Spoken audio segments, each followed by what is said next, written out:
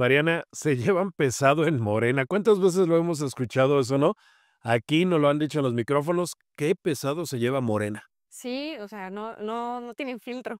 No tienen filtro y bueno, ayer, ya lo estábamos platicando fuera del del aire, ayer la dirigencia estatal de Morena publica un comunicado, el secretario general de Morena, Alejandro Pérez, manda un comunicado a los medios de comunicación y en el comunicado está la pesadez de lo que decimos, ¿no?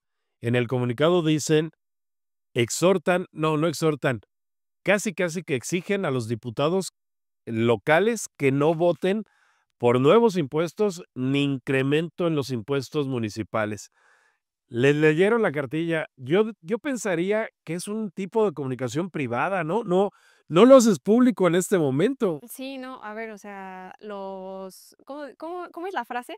Los trapitos sucios se lavan en casa. Sí, y y este no es un todavía un trapito sucio, pero es como la amenaza de: "Mira, güey, te estoy estoy ya advirtiendo", ¿no? O exhibiendo, también podría ser el caso, porque, pues, vemos a muchos que jalaron en campaña con ciertos partidos y al mero momento, pues, ya se se deslindan, ¿no? Bueno, pues están curándose en salud.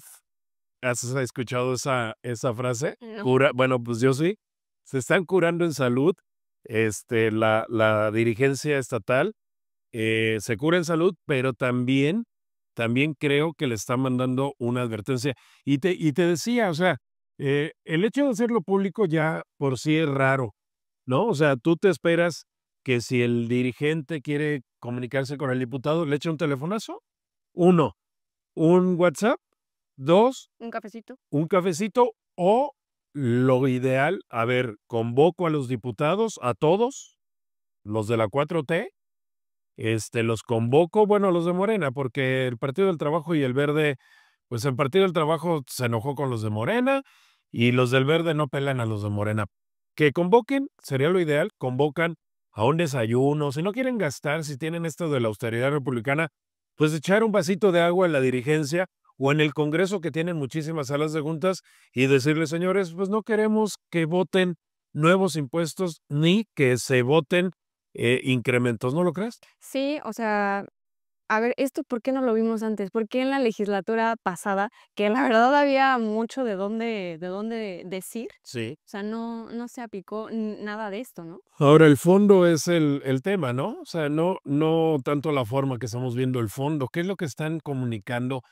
Eh, más allá de esta advertencia, más allá de esta, eh, falta de prudencia política, están comunicando que hay un rompimiento en Morena, ¿estás de acuerdo? Sí. Que cada quien está jalando para su para su lado, cada quien está llevando agua a su molino, entre ellos están grillando y me parece que es muy mal mensaje si ellos porque hay muchos que están ya, este, saboreando el triunfo del 27, si si quieren ganar la gobernatura, tienen que resolver ese tipo de problemas, ¿no? Sí, a ver, o sea, lo que había estado distinguiendo o distingue a Morena es de que están unidos por una causa, por un movimiento, este, la 4T, ¿no? O sea, Sí. la famosísima 4T.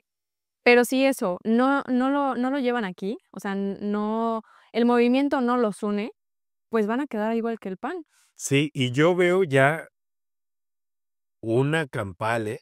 No no no lo estamos viendo. Si antes pensábamos, fíjate, vamos a vamos a a replantear el tucogil, ¿te acuerdas lo que es el tucogil? Sí, el todos unidos contra Gilberto. Vamos a replantearlo, ya no es todos unidos contra Gilberto, yo diría que es el tucoto.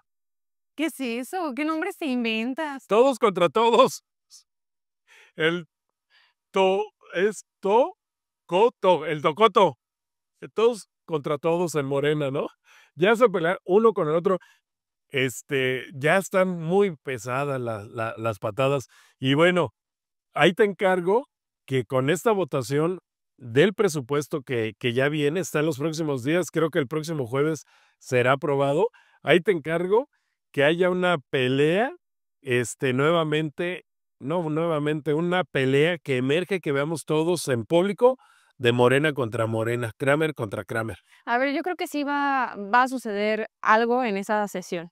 O sea, las votaciones no no le van a dar el gusto total, Así es. ¿no? Y otra vez veremos ahí, este, algunos votos, este, raros. Sí, porque a ver, Gilberto está radicalizado.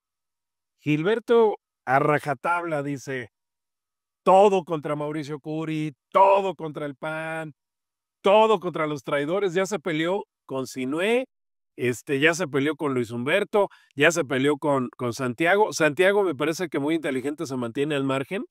Este, Luis Humberto está con todas las ganas de ser candidato a gobernador y en ese camino eh, comienza a sospechar de los, de los que no están de acuerdo con él. Y también me parece que Chema este, Tapia, muy inteligente, igual que Santiago, se salen de, de eso y dicen, peleense, cabrón. Es su cena de negros, adelante. Este, pues ahí vamos a ver si podemos o no recoger lo que queda del partido. ¿Y sabes quién se saborea esas peleas? Pues el pan. El pan. Gracias, Mariana. Gracias, Luis.